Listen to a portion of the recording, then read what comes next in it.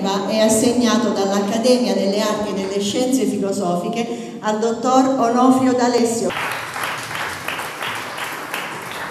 Per un'informazione e un giornalismo di qualità al servizio della comunità, queste le motivazioni che hanno portato la commissione del premio Seneca 2020 ad attribuire al direttore di Antenna Sud, Onofrio D'Alessio, il premio Minerva alla carriera per il giornalismo.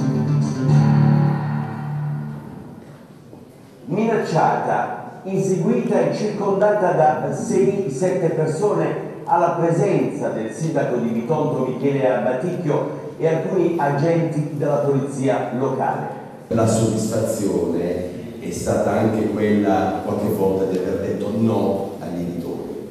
di aver detto no ad una impostazione della notizia che non era coerente con quelle che sono le, le, anche le peculiarità, cioè le caratteristiche del mio modo di fare giornalismo e quindi di non condividere spesso e volentieri, ecco, di non andare dietro il gregge. Io sono una voce fuori dal coro e ritengo di essere sempre stato con tutti a prescindere. La cerimonia nelle sale del Castello Svevo di San Nicandro di Bari, insieme al direttore della testata pugliese, sono stati premiati con il Seneca alla carriera per impegno letterario il poeta, scrittore e regista Franco Arminio e con il premio alla carriera Auriga per l'impegno sociale l'oncologo e chirurgo Francesco Schittulli.